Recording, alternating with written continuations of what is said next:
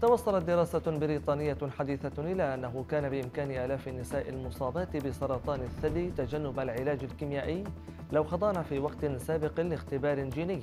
وقالت صحيفة تلغراف البريطانية إن الدراسة تشير إلى أن ما يصل إلى خمسة آلاف امرأة في السنة بالمملكة المتحدة يمكن أن يتجنبن مستقبلا العلاج السام الذي يؤدي إلى مضاعفات كثيرة في حال إجراء اختبار تقييم المخاطر الخاصة بالجينات بشكل مسبق.